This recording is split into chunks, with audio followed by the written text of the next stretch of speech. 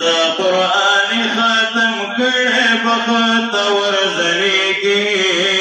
لکا دن ورزلی گی خواب ونرزلی گی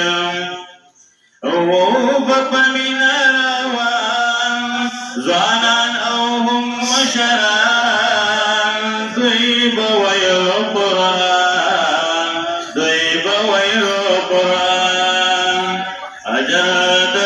په مرګ نفسې په قبر زلېږي لکه د نور زلېږي خو په هنر زلېږي ملائکه راغلي ډېر قدردان راغلي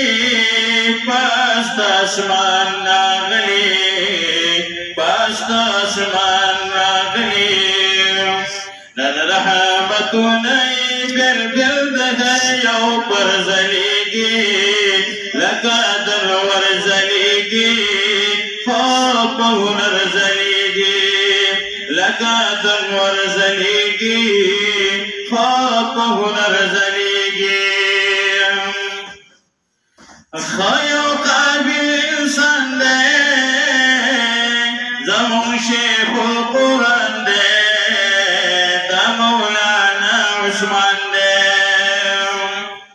خیو قابل انسان دی زمون شیخ القرآن دی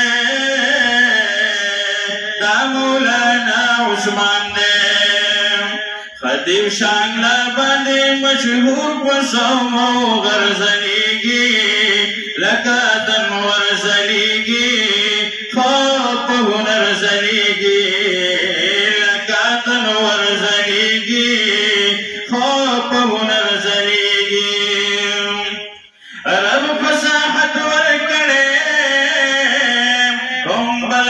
तवर कणे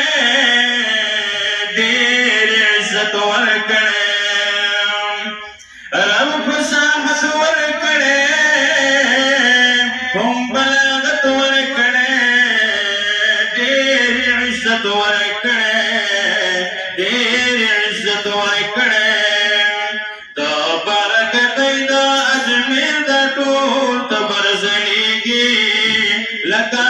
ور زنیږي